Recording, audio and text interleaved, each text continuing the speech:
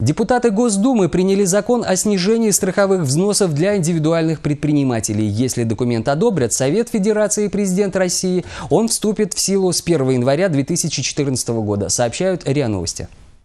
С начала этого года изменился порядок начисления страховых взносов для индивидуальных предпринимателей, адвокатов, нотариусов и тех, кто занимается частной практикой. За основу стали брать двойной минимальный размер оплаты труда вместо одного. В результате платежи ИП сильно выросли – примерно с 17 тысяч рублей до 36 тысяч, а число предпринимателей резко сократилось. Такой подъем кому-то оказался не по силам. Инициатива поменять порядок начислений возникла в связи с тем, что сложилась абсурдная ситуация.